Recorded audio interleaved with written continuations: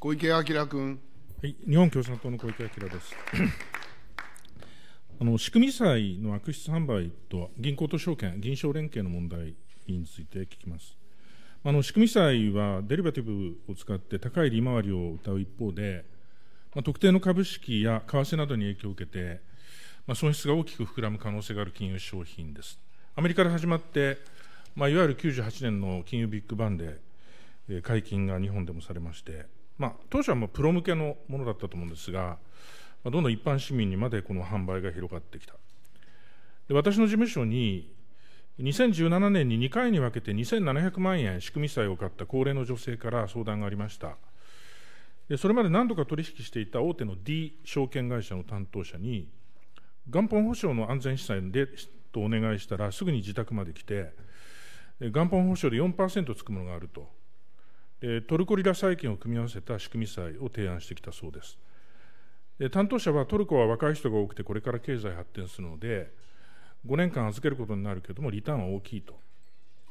で、これからの会社に電話をかけるんで、はいとだけ言ってくださいと言われて、まあ、電話で5分間ぐらい説明を受けて、はいって言って、それで書類を作ったと。でそして結局、全額損失で全て失ったっていうんですね。で金融庁にお伺いしますが、仕組みさえめぐる問題については、金融庁としてはいつ頃からどのような被害が出ていると認識されていたか、まあ、被害の広がりについてどのように対処してこられましたか。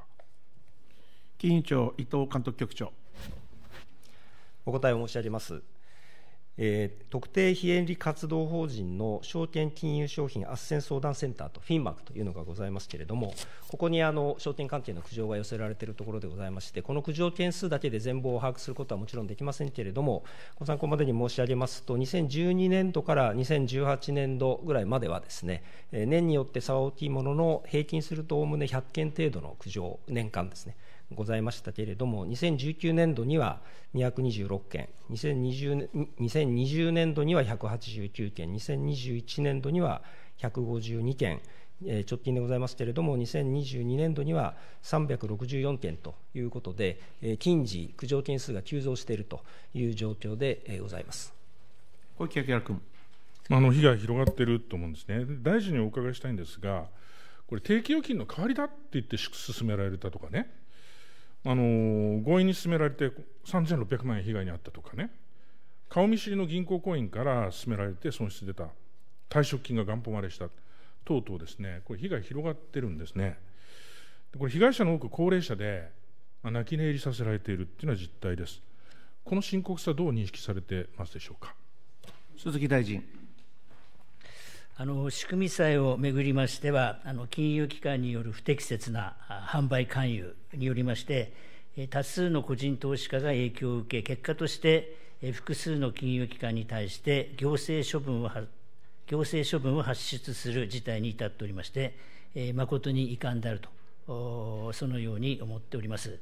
あのこのような事態を受けまして、日本証券業協会では、自主規制ガイドラインを改正をして、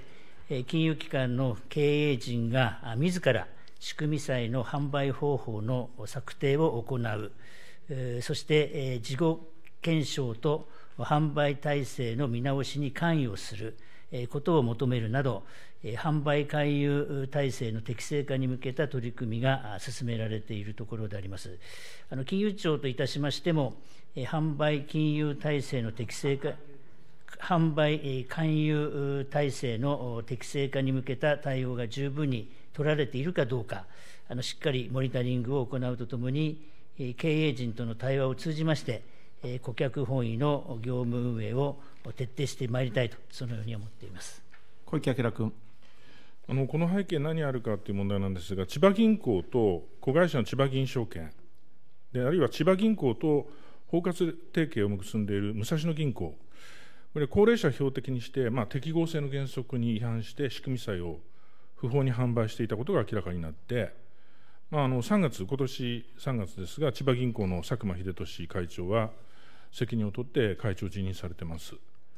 で昨年、あの金融庁は行政処分を行ってますが、その内容を簡潔に説明してください伊藤監督局長。お答え申し上げます。千葉銀証券におきましては、顧客の投資方針や投資軽減に照らして不適切な仕組み債の販売が行われていたこと、千葉銀行及び武蔵野銀行におきましては、顧客属性を確認、検討せず、顧客を仕組み債に誘引するなど、投資家保護上問題のある形で、証券会社への顧客紹介が行われていたことが認められたことから、証券取引と監視委員会による処分勧告を踏まえ、千葉銀証券等に対し、昨年6月23日に業務改善命令を発出したところでございます。この業務改善命令におきましては、千葉銀証券に対しましては、適切な業務運営体制の構築、経営管理体制及び内部管理体制の強化等、千葉銀行及び武蔵野銀行に対しては、これらに加えて、銀商連携、ビジネスモデルの構築等、法令等の遵守及び適正かつ健全な業務運営を行うことを含む業務改善計画の策定、実施を命じたところでございます小池晃君。あの配布資料に問題点をあのまとめたものがあります？あのご覧いただきたいと思うんですが、もともとプロ向けの商品なわけですが、でまあプロだったらまあいろんなリスクも理解して投資すると思うんですが、あの金融機関が対面で販売する場合、これ高齢者多いわけで、で非常にリスクが十分説明されないまま、特に銀行、やっぱり銀行ということで信頼してしまって購入してしまう。まあ、あの地銀はやっぱり低金利で本当に長期にわたって苦しんでいるから手数料収入ね高いんで、まあ、こういったものにね流れていくっていうのはあるんだと思います。からまあ本来やっぱりこの想定されなかった、まあ、若年層はまあネット証券なんか今使いますから、やっぱ本来想定されなかったその高齢者なんかにこの仕組み債というのが売られている。で問題はですね、私、先ほど言いました、銀行に対する高齢者の信頼を利用して、銀行と証券が一体に行われているということなんですね。でこれ千葉銀行では紹介した顧客が千葉銀証券から仕組みさえ買うと千葉銀に手数料の一部が入るという仕組みで千葉銀の行員の業務目標に組み込まれていたで武蔵野銀行も同様な仕組みでで武蔵野銀行は役員が支店長に対して店別の店別の仕組み債収益実績表っていうのを送付して積極的な仲介を指示してたと、まあ、まさに組織的な販売を銀行証券一体でやってきたんですね。で金融庁の調査では、2022年3月時点で8割の地銀が仕組み債は使っていたというわけです。でやはりこれはですね構造的な問題があるんではないか。でこの事件を報じた日経新聞は社説で、千葉銀などのケースが悪質なのは、地銀と系列証券の提携が不適切販売の温床となった点だと指摘しているんですね。金融庁にきたいんですけど、千葉銀行、武蔵野銀行のケースっていうのは、これ、銀商連携の歪みの表れではないでしょうか。伊藤監督局長。お答え申し上げます。まずあの千葉銀行、武蔵野銀行と千葉銀証券との間の問題点について、えー、今、委員からもご指摘ございましたけれども、申し上げますと、この両銀行とこの千葉銀証券の間では、金融商品仲介業務にかかる提携契約というのを締結しておりまして、この内容ではですね、両行は、この両行のお客さん、銀行のお客さんに対して、証券会社が扱う商品のラインナップのみを説明をすると、個別の関与しないということでございましたけれども、実態は顧客属性を確認しないまま、銀行のお客さんを仕組み再購入に誘引するといった投資家保護上、極めて不適切な形で証券への顧客紹介を行っていたということが認められております。で、これも委員ご指摘のとおりでございますけれども、このような不適切な顧客紹介が行われた、まあ、原因としては、銀行の行員の業績評価体系が、高手数料の仕組み再提案を招きやすいというものになっていたこと、紹介顧客からの苦情について、苦情もたくさん出ておりましたけれども、発生原因分析や改善策の立案を行っていなかったということ、それから顧客への説明内容等の内部管理部門によるチェックが形式的なものにとどまっていたというような銀行の業務運営体制の不十分さに原因があり、また千葉銀証券におきましても、銀行から紹介された顧客について、本来は証券において適合性原則を踏まえてですね、売るか売らないかということを判断しなければいけないわけですけれども、それをしないままに、銀行から送られてきたその、ま、内容、お客さん、それから誘引した商品についてですね、売っていたというような、ま、販売管理体制の問題があったと。こういうこの銀賞の関係が、この千葉銀証券、千葉銀行、千葉武蔵野銀行に関する問題となって現れたというふうに認識しておりまして、こういった点を是正するように、今もフォローアップをしているところでございます小池晃君。あの個別の管理体制の問題はもちろん問題なんですが、やっぱり背景には、このやっぱり銀商連携という仕組みですよね。これあの、実は1992年の金融制度改革関連法の質疑の際に、私も日本共産党は、金融と証券との垣根を取り払い、銀行が子会社方式で証券業務に本格的に参入できる道を開けば、不正取引を引き起こす元になるんじゃないかと指摘をしました。やっぱりそういう事態がね、生まれてきてるんではないかなというふうに思うんです。で大臣、やっぱり今回の事態が示しているのは、やはりその規制緩和ではなく、規制強化が必要なんではないか、ファイアウォール規制を見直して、罰則の強化など、さらに厳しい措置を取るべきではないか、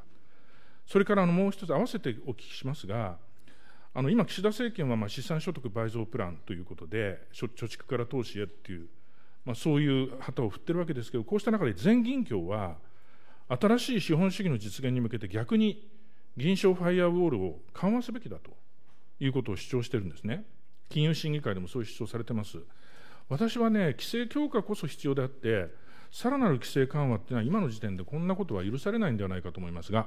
大臣、いかがでしょうか？鈴木大臣。あのまずご指摘のファイアウォール規制でありますが、1993年に、同一金融グループ内において銀行業、証券業を営むことを可能とする規制緩和を実施した際に、顧客情報の適切な保護や、利益相反取引の防止等の弊害防止措置として、合わせて設けられた規制でございます。この規制につきましては、これまで数字の見直しを行ってきましたが、その際には、規制緩和を通じたより高度な金融サービス提供等を通じた顧客の利便性向上などを目指すのみならず、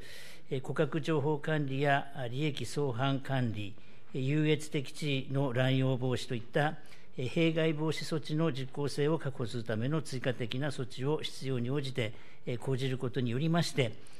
顧客保護に支障が生じないよう、必要な制度整備を行ってきたところでございます。あの